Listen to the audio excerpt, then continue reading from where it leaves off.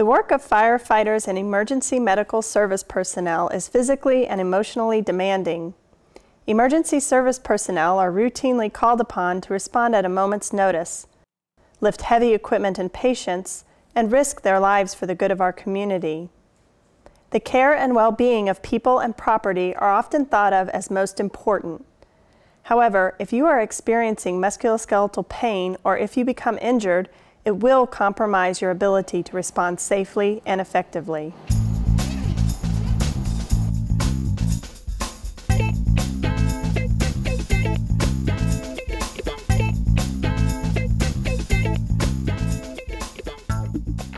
The most recent National Fire Department injury data shows sprains, strains, and muscular pain are a problem for fire and EMS personnel.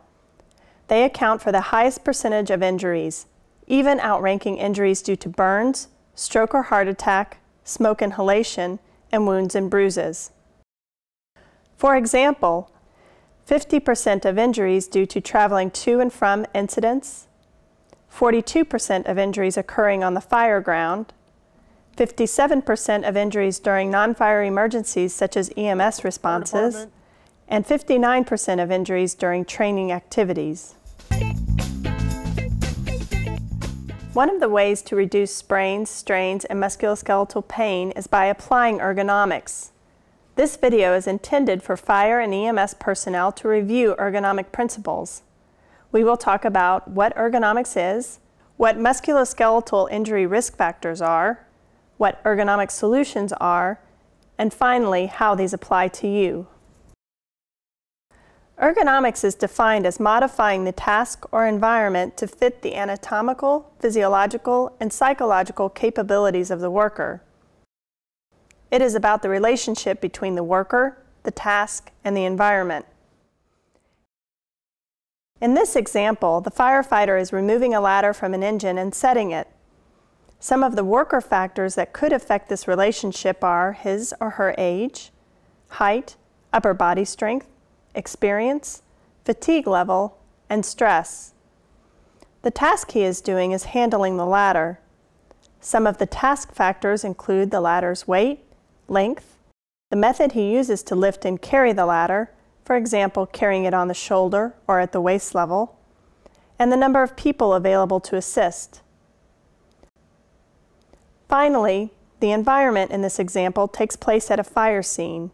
It may be noisy, cluttered, and the ladder may have to be carried extended distances. Beyond this example, there are other worker, task, and environmental factors that arise with the variety of work activities that you do. Can you think of any?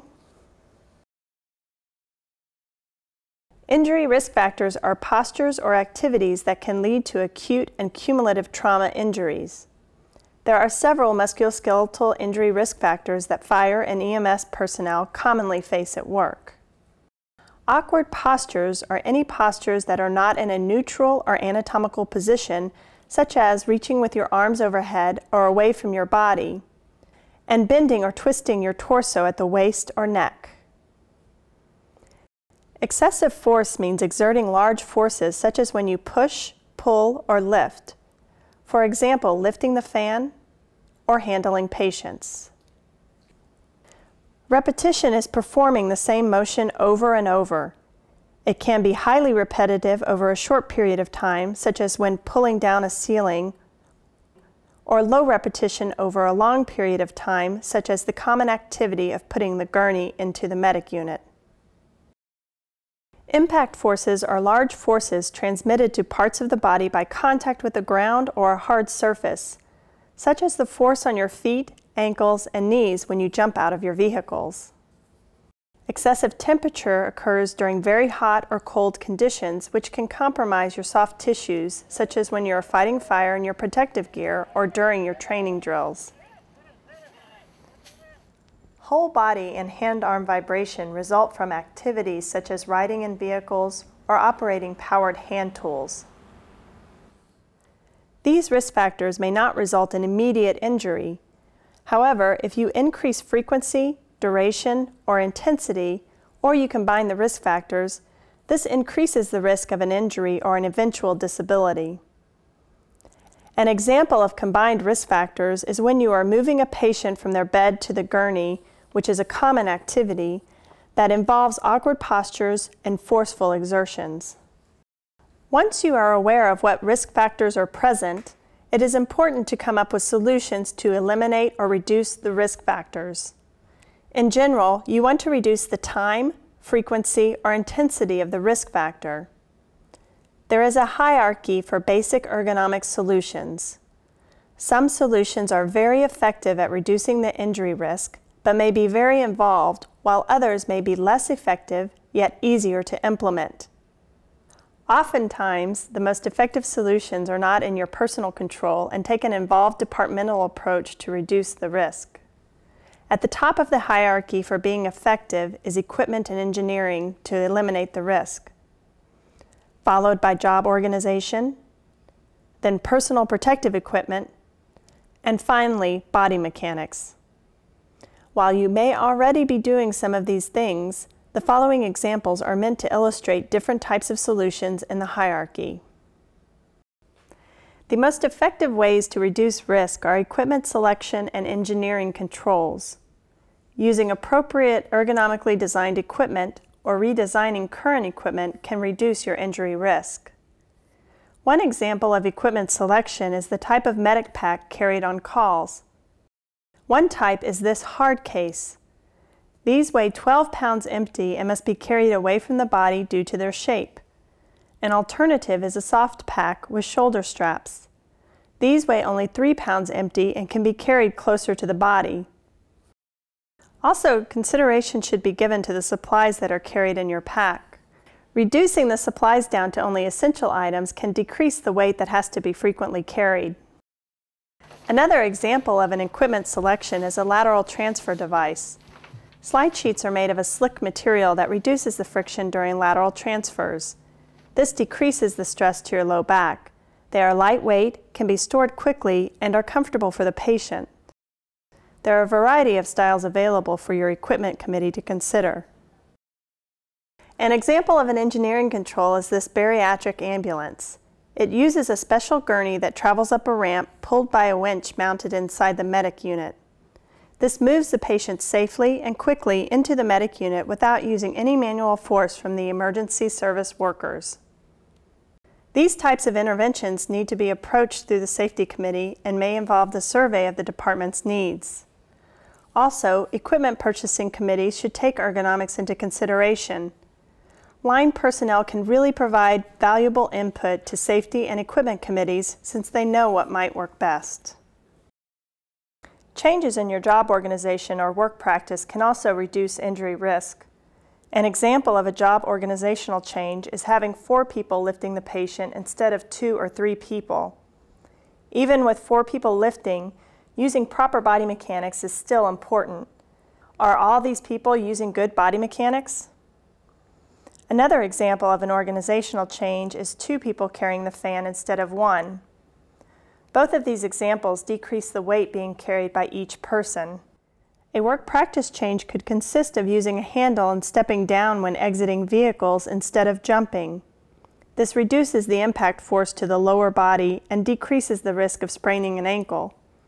Even in the office, the way the workstation is set up can impact stresses on your body, especially the low back and wrist.